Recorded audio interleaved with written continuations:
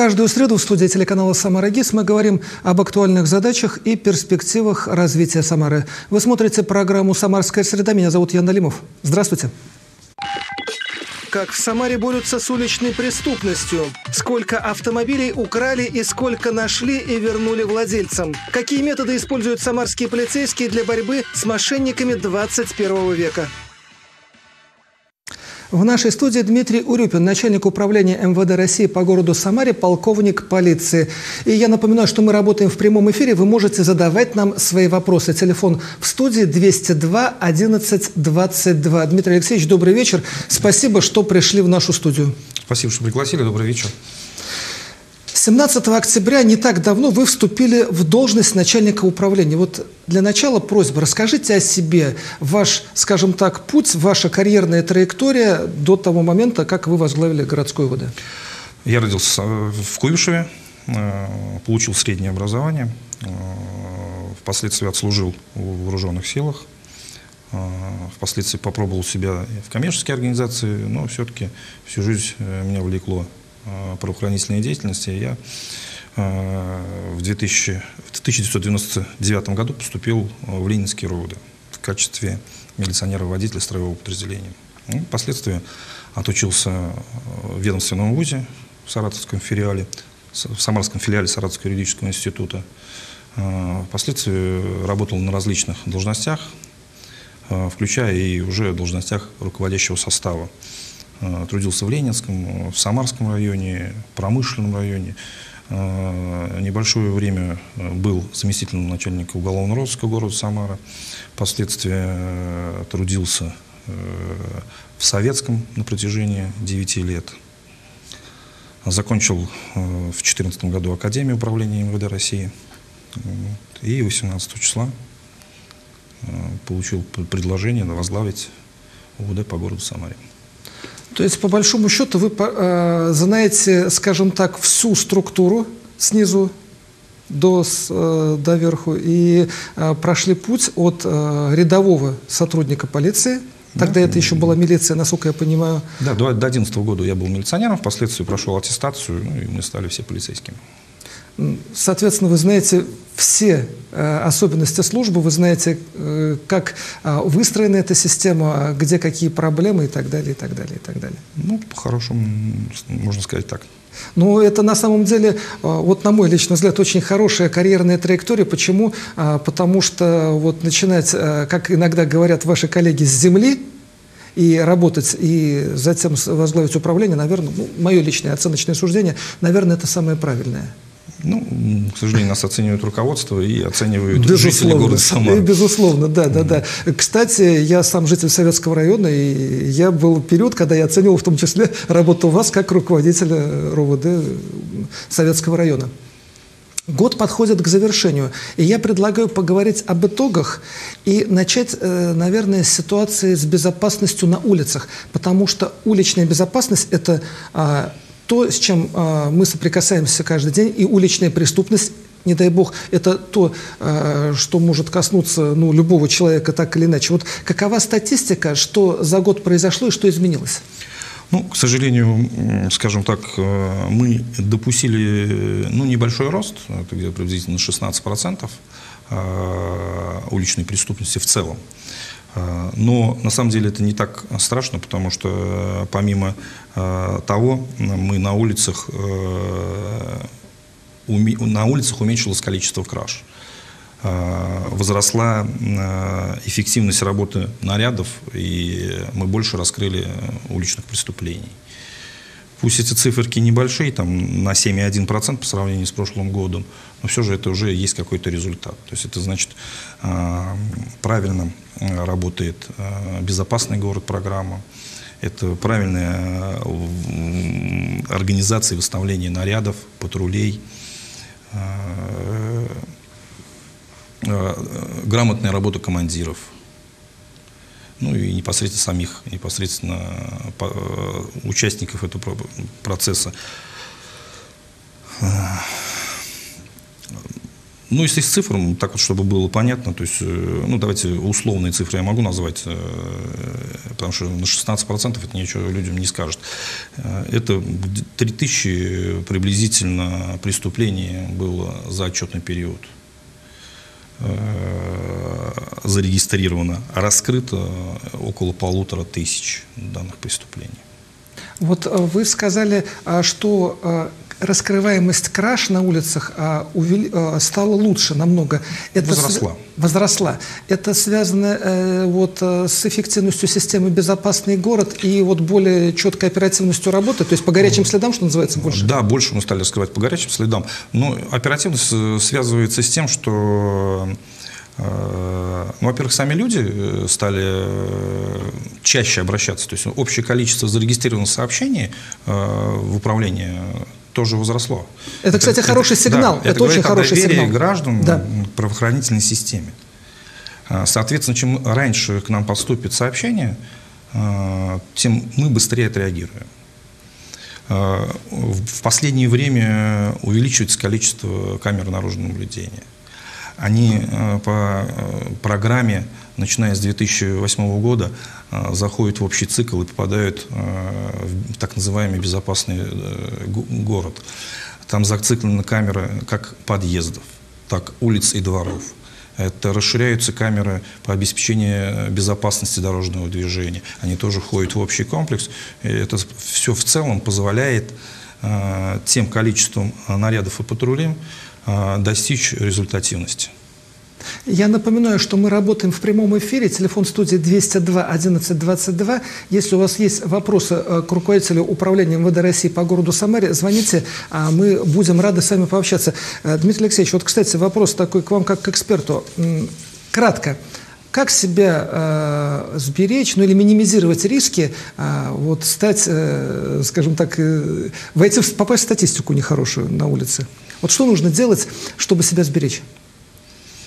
Основные. Ну, ну основные правила это, скажем так, э, все-таки э, выбирать э, освещенные участки местности, да, не вступать в конфликтные ситуации с гражданами. То есть лучше где-то промолчать и обойти на самом деле?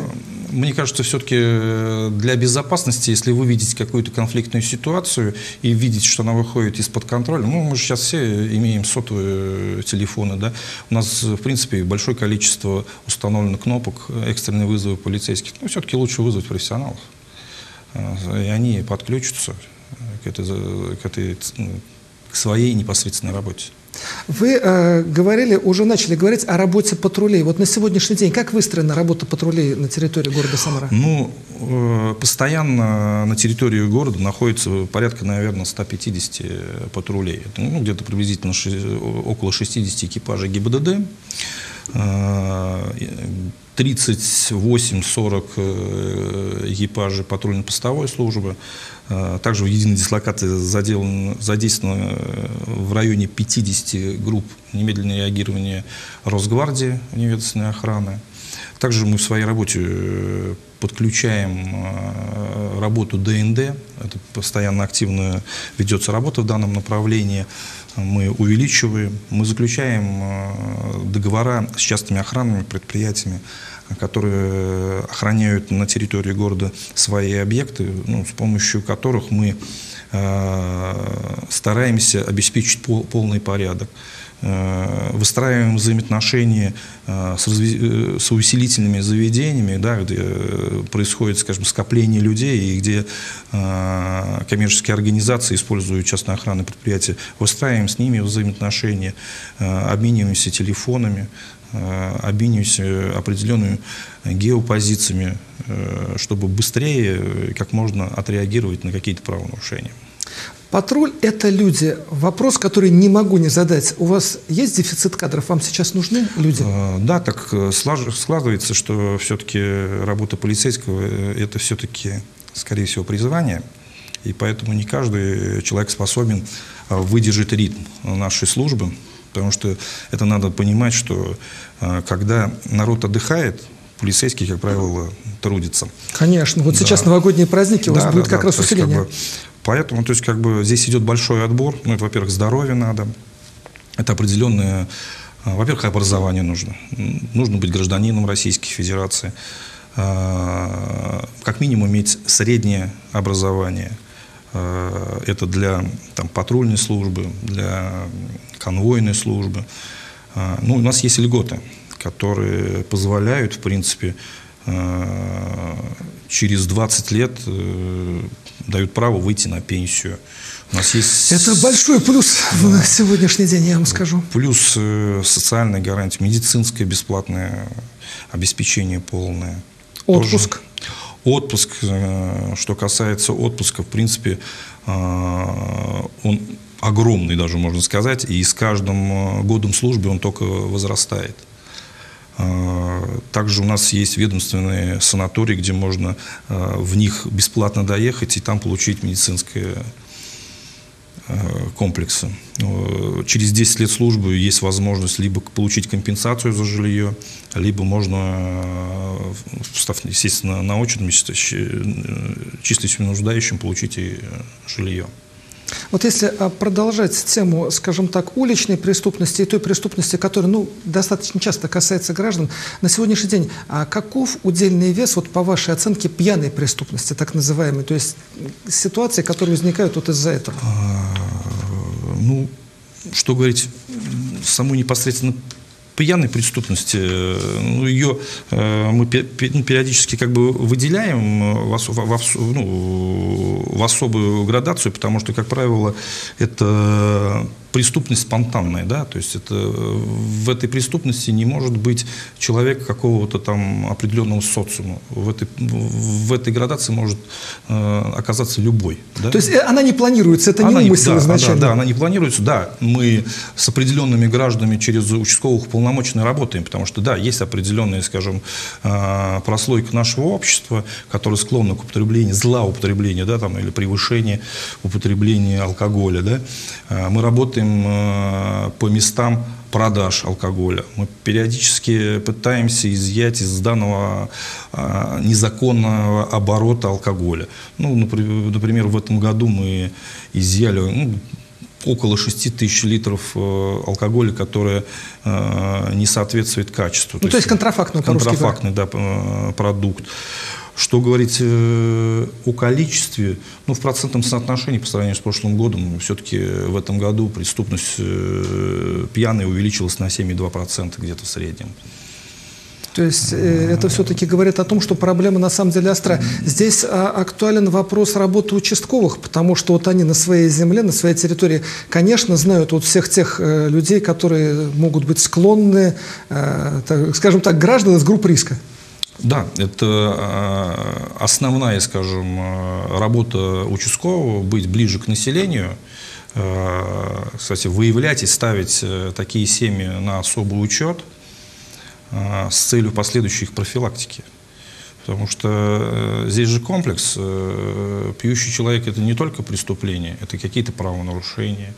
Это домашнее хулиганство банальное. Домашнее хулиганство, дебоширство. Это неправильное воспитание детей – то есть это большой комплекс. Вот на сегодняшний день а дефицит участковых есть? Тоже нужны? Тоже есть, да. Для того, чтобы стать участковым, э, необходимо высшее образование. Высшее юридическое. То есть это офицерская уже должность? Да, это офицерская должность. И, кстати, это одна из самых основных таких должностей, э, которые раскрывают полную функцию правоохранительной деятельности. То есть это от написания протоколов, э, выявления, раскрытия преступлений. То есть это большой класс, контроль за оборотом оружия. Э, это работа э, с населением впрямую. То есть, на самом деле, это очень ценный человек, и это, ну, по большому счету, мастер на все руки получается. Да, да, то есть, если брать, э, ну, так вот, профессионально раскидать, кто какими э, инструментами пользуется, то участковый, наверное, больше всех. То есть он пользуется и административным кодексом, он пользуется и семейным кодексом, он пользуется и уголовным кодексом. Вот э, если продолжать вот эту цепочку а, от э, пьяной преступности, э, перейдем давайте к наркотикам. Хороший вот, прошу вопрос. прощения, мне подсказывают, что есть звонок в студию. Дмитрий Алексеевич, давайте пообщаемся со зрителем, потому что ну, зритель это святой. Затем продолжим тему, как раз тему наркотиков. Алло, здравствуйте. Здравствуйте. Да, здравствуйте. Представьтесь, пожалуйста, как вас зовут, и мы вас слушаем. Меня зовут Мария. Я бы вот хотела Алексеевичу задать вопрос. А, как можно попасть на прием? Здравствуйте. А, Мари, ну, у меня ближайший прием это будет 23 числа в этом году, скажем так. А, это сделать вообще легко. Можно либо обратиться на сайт УВД, это Самара 63 МВД РФ, либо позвонить по телефону 373 76 20. 373 76 20. Мария, спасибо. Ответили, надеюсь, на вас вопрос. Итак, вот а, продолжая разговор на нар наркотики, как ведется борьба, ну, наверное, в первую очередь с закладчиками, потому что это, вот, как я понимаю, а, важнейший этап, важнейшая часть цепочки. Ну, э, в последнее время э, данный вид преступления, к сожалению, то есть уходит в интернет-пространство. Э, и поэтому борьба с ним становится более, так скажем, осложненная, да, э, Дело в том, что мы ушли от прямых э, передач контактов, да, распространителей наркотиков, так перешли, как вы правильно сказали, на закладчиков. Все это формируется через определенные э, мессенджеры с определенными инструкциями да, и распределение по уже местам, скажем так, мест закладок. Э, ну, во-первых, э, в этом направлении периодически проводятся различные мероприятия, так как «Сообщи, где торгуют смертью», э, где население активно принимает участие, потому что борьба с этим злом не может ложиться только на одно МВД. С этим злом должны бороться все, начиная от граждан, Э, видите, э, что у нас э, ну, какое-то поведение человека нестандартное. нестандартное вот да. я тогда так, вот практический пример. Вот я, например, там, люблю заниматься физкультурой там, в парках. То есть, если я вижу, что человек как-то очень подозрительно, регулярно копошится в кустах, то вот по-хорошему нужно позвонить и сказать, товарищи, проверьте, вот что-то... Не стесняйтесь вообще. Вот, лучше ошибиться. Да, лучше ошибиться. Мы лишний раз перепроверим, тем более почти во всех парках у нас, э, за исключением вот сейчас э, вот э, парк молодежный восстанавливается, пока вот в этом направлении там еще не совсем до конца организована служба, то во всех парках у нас имеются патрули. Вот, возьмем парк Победы патруль есть, парк Гагарина есть патруль, э, набережная полностью находится под контролем патрулей. Вам только нужно сделать звонок, и мы отреагируем. И четко объяснить, что происходит? Да, что происходит, да. То есть ничего страшного. Ну, мы, если э, об, обратим внимание на добропорядочного гражданина, мы просто извинимся перед ним. Это нормально и это хорошо. То есть на самом деле вот здесь вот этот момент самый важный, это все-таки вот обратная связь с людьми. Да, и это, кстати, не только касается телефонных звонков. У нас также работает, опять же, возвращаясь к службе участковых, можно обратиться к своему участковому а, либо по телефону, либо также прийти в опорный пункт, рассказать, поделиться, и он уже примет решение. Примет либо, меры. Да, либо это будет... Дмитрий Алексеевич, прошу прощения, подсказывают, есть звонок в студию, давайте пообщаемся со зрителем. Алло, здравствуйте. Здравствуйте. Да, представьтесь, пожалуйста, как вас зовут, мы вас слушаем. Людмила. А, скажите, пожалуйста, у нас такая ситуация, не очень понимаем, как себя вести, куда обратиться. У нас недавно умер пожилой родственник, а и когда мы разбирали его вещи, то обнаружили у него патроны в большом количестве. Мы не, не знаем, откуда они появились, никто из этих людей тоже не в курсе, и теперь мы не понимаем, что с ними дальше делать. Мы можем их просто выбрать, и есть какие-то специальные правила, что их нужно идти, давать, ну как нам поступить? Людмила, Спасибо. здравствуйте.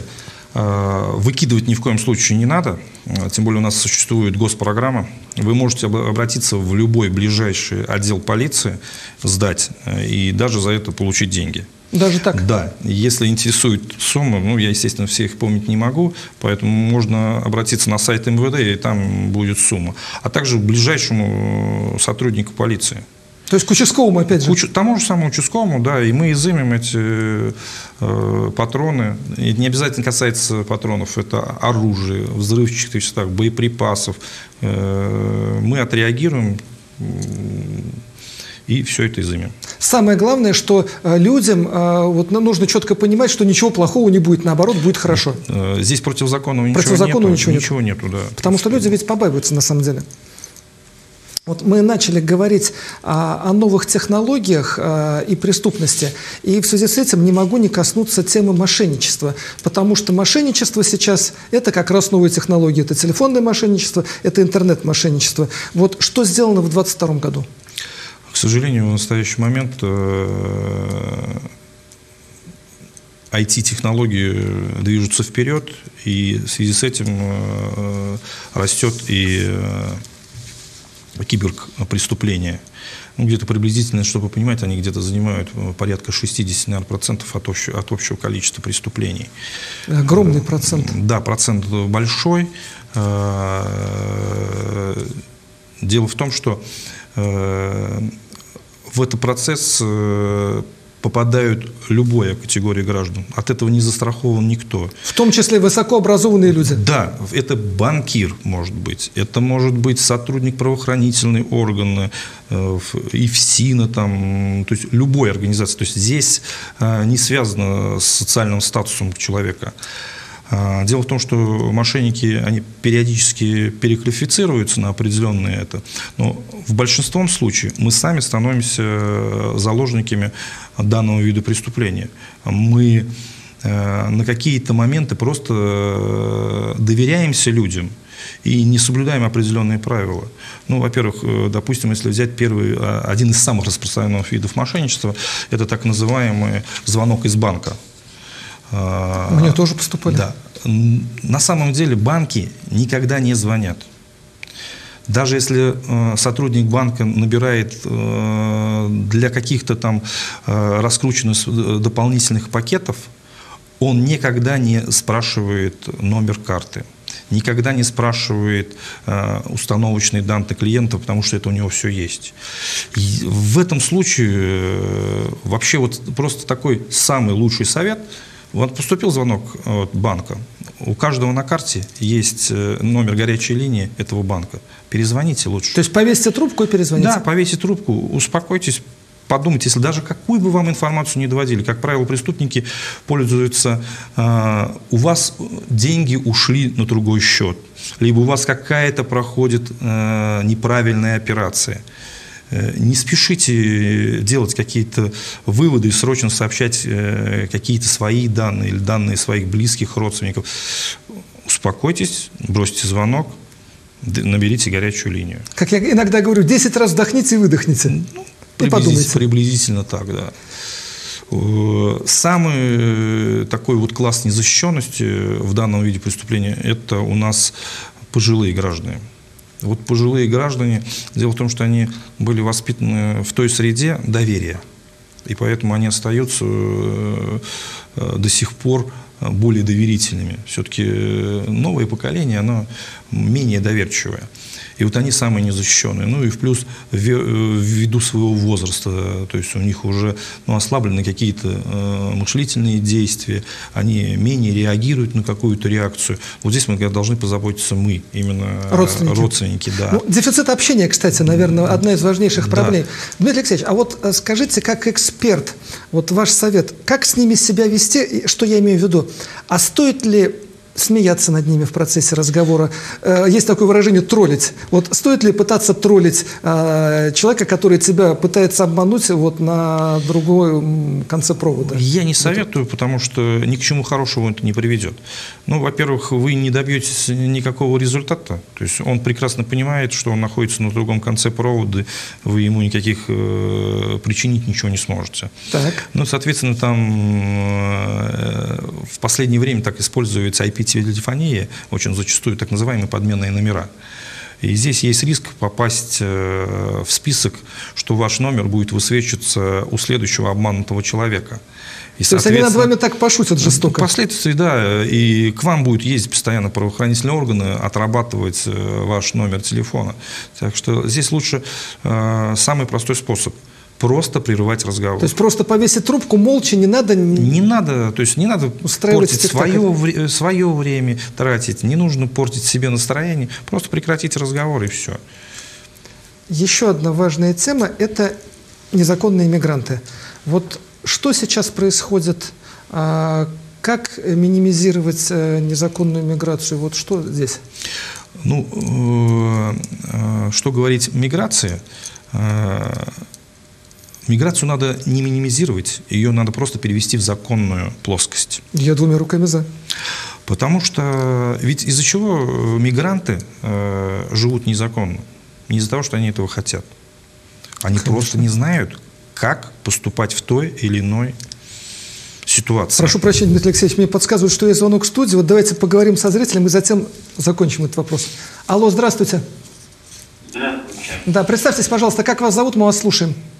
Здравствуйте, зовут меня Сергей, обязательно задать вопрос, вот интересовать информацию чуть Здравствуйте. Еще раз представьтесь, пожалуйста, не очень четко было вас фамилию слышно. Как вас зовут или имя хотя бы? Зовут меня Герасимов Сергей. Так. Хотел бы задать вопрос Дмитрию Алексеевичу одному. Я слушаю вас. Здравствуйте, уважаемый Дмитрий Алексеевич. Здравствуйте. Скажите, пожалуйста, информации хотел бы уточнить у вас. У нас небольшая проблема такая есть вместе с дедушкой в Самаре, по там железнодорожный район, по интернету И вот э, Габар наш установили камеры наблюдения, и вот на днях установлены камеры, увидели, что приходили домой посторонние люди, и наш пожилой дедушка купил печь чайник. Вот хотели бы как-то беседу провести дедушка, что а что не купил за 7 часов? Кстати, по беседу дедушка поговорил, что посмотреть полиции, дедушки, может, он больше людей по форме, чем Ясно. А, я понял ваш вопрос. Э, Сергей, а вы как бы, если не пробовали обратиться э, к участковому полномоченному, здесь, в принципе, самый простой вариант э, подойти к участковому полномоченному, он подойдет и вникнет в этот вопрос. Зачастую вот данная категория граждан как раз вот и попадает. Мы про что и говорим. Мошенничество у нас разное. У нас есть мошенничество э, контактное и бесконтактное. Это вот как раз мошенничество, относящееся к контактным, где под видом э, газовой службы, под видом водопроводчик, виды распространения каких-то товаров предлагают товары за повышенной э, ценой. И как раз вот попадает та категория, которая менее защищенная, доверчивые наши граждане, это престарелые люди.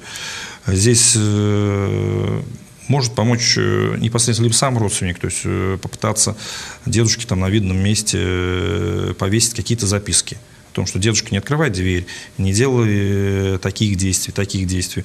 Ну а мы со своей стороны, вот я посмотрел, мы раз, раз два, это железнодорожный район, я, к сожалению, жалко нет квартиры, а то я бы уже сегодня дал бы поручение, и мы бы пришли. А так нужно обратиться, зайти на сайт, вот я уже называл его samara.63.mvd рф, посмотреть, кто по данному адресу участковый, там есть номер телефона, позвоните, он прибудет, и данную проблему, я думаю, постараемся решить. Согласен. У нас осталось полторы минуты, вот прям кратко по незаконным мигрантам. И так вот вы сказали, что желательно их сделать законными. Да, в законную плоскость наш привести. Просто они, приезжая на нашу территорию, как правило, пользуются э, услугами, так скажем, своих решал, да, и своих, э, э, своих соотечественников, которые предлагают зайти в нелегальную им бизнес, вводя их в заблуждение. Вот в этом случае мы сейчас вот в настоящий момент прорабатываем э, работу с э, э, диаспорами, чтобы диаспоры вот при пересечении границы иностранного гражданина начинали с ним работать и объясняли законность нахождения на территории Российской Федерации как правильно подать документы, куда подать документы. И самое главное, разъяснять э, иностранным гражданам, что за это не взимается никакие денежные платы, что э, не нужно, скажем, давать кому-то мзду, чтобы... Э, чтобы стать законным гражданином да, или да. работать на законных Просто есть определенные правила, которые должен соблюсти э, тот гражданин. Это наличие языка. И обращаться. Да. К сожалению, время программы подошло к концу. Большое спасибо за очень насыщенную, интересную беседу. Я надеюсь увидеть вас в студии еще не один раз, потому что на самом деле вопросов к вам очень много. Напоминаю, в нашей студии был Дмитрий Урюпин, начальник управления МВД России по городу Самаре, полковник полиции. Всего вам доброго, до свидания.